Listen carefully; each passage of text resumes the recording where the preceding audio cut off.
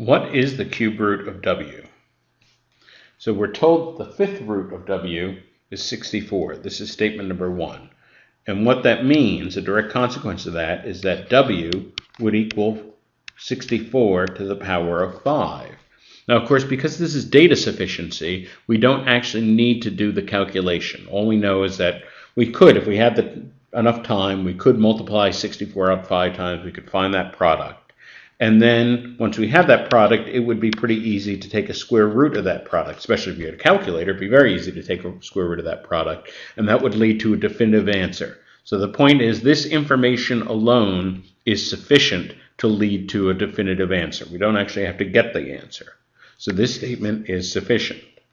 Similarly, statement number two, the 15th root of w is 4. Well, that directly leads to the statement that W equals 4 to the 15th. Again, we could multiply 4 out 15 times if we had enough time. We could actually find that number. Once we had that number, we could take the cube root of that number, and that would answer the question. We don't actually have to do those steps on data sufficiency. It's enough to know that we could do those steps. We have enough information to calculate the answer. So the information we have is sufficient. The answer is, so that statement number two is sufficient.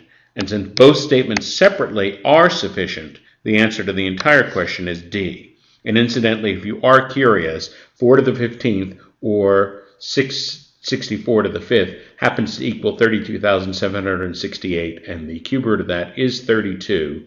But you do not need to do any of those calculations in order to answer the data sufficiency question.